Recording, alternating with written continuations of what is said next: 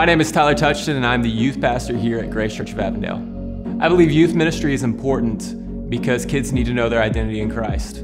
If they don't know what their identity is in and who they are and who, who God is, then the world's going to tell them very, very quickly.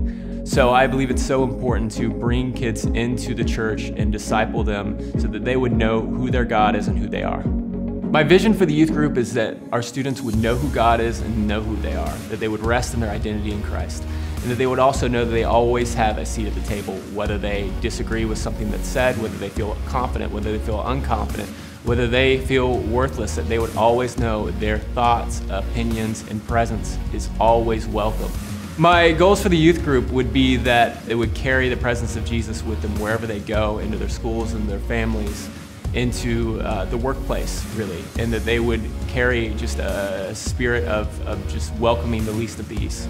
And that any kid that comes in this youth group would feel welcome and know that they, they are welcome here, their opinions are welcome here, and that they have a place here. Our current Wednesday nights services start out with worship and then move to a small group setting.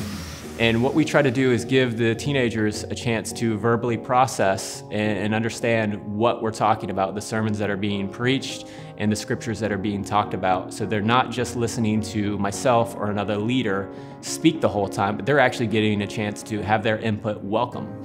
And so we, we do have fellowship time before and after our services, so we you know get that individual time with kids. If you are interested in serving in the youth group, please, please, please come talk to me. Also, if you don't feel like you're called to serve in youth ministry, but you still want to help, I cannot ask you enough for your prayer and intercession for these students. I, I think the greatest gift you can really give somebody is your prayers and intercessions and knowing that even if it doesn't seem like anything is taking place, it is still working. The Lord is still working in these students' lives. So please, please, please pray for our students and pray for us as we minister to them. Thank you very much.